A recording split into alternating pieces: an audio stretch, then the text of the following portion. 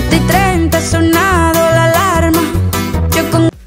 Shakira es la artista más exitosa del momento y después de la montada de cachos tan áspera, su fama aumentó mucho más. Desde entonces ha lanzado éxitos inspirados en la traición que recibió de su pareja. Pero la cosa va más allá, pues aparte de recibir cachos de Gerard Pique, este también era o tal vez sigue siendo mal jefe.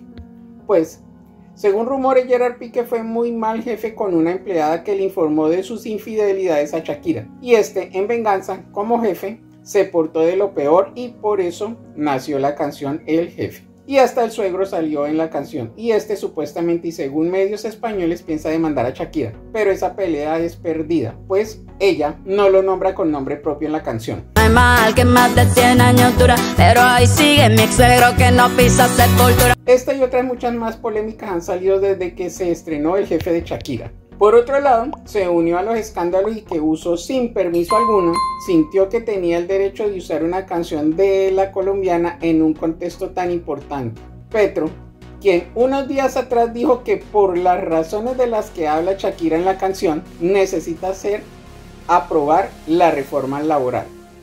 Estas palabras llegaron a Shakira que no le gustó ni cinco que un comunista use su canción para promover reformas desastrosas.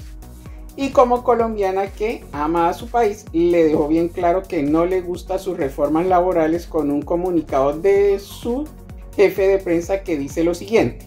La aclaración la hizo en varios medios nacionales el jefe de prensa de Shakira, Rodrigo Beltrán, quien señaló que en ningún momento se ha autorizado por parte del artista el uso del más reciente sencillo titulado El Jefe en contextos políticos o partidistas, como en días anteriores se hizo evidente para promocionar la reforma laboral del gobierno Petro.